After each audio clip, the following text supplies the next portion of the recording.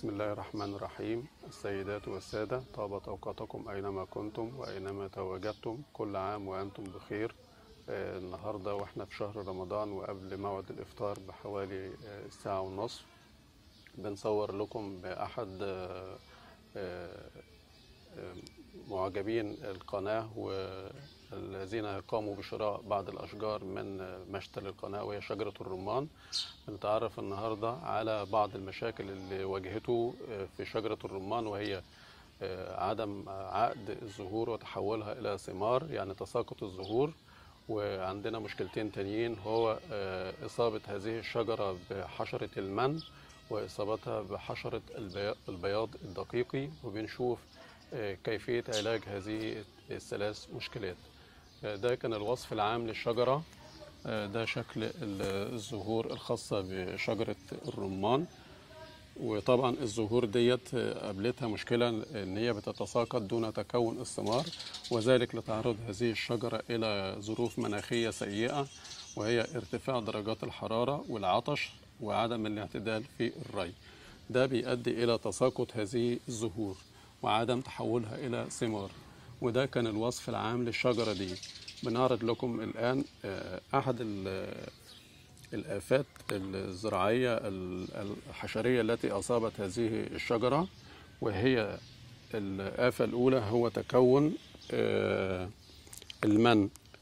ده آه، الإصابة بالمن تحول الأوراق إلى أوراق متجعدة ضعيفة جدا نتيجة تكون المن على هذه الأوراق ال- الغضة الطرية ثم تحول آه، آه، الإصابة إلى آه، شيء أكبر يعني عملية تعقيد للإصابة وهو تحولها إلى الندوة العسلية. وبنلاحظ على أحد الأفرع أحد الأصدقاء للمن وهو النمل.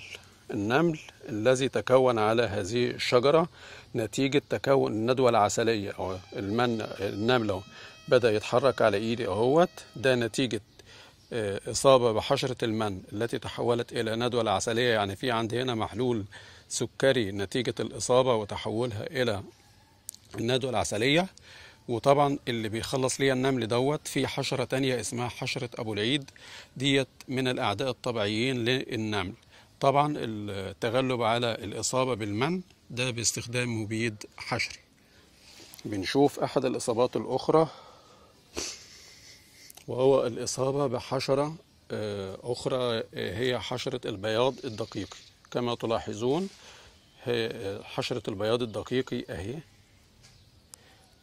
هي يعني الكاميرا بتقرب منها شوية. هي هي الحشرة البيضاء ديت ديت حشرة البياض الدقيق وهناك حشرة أخرى أهي.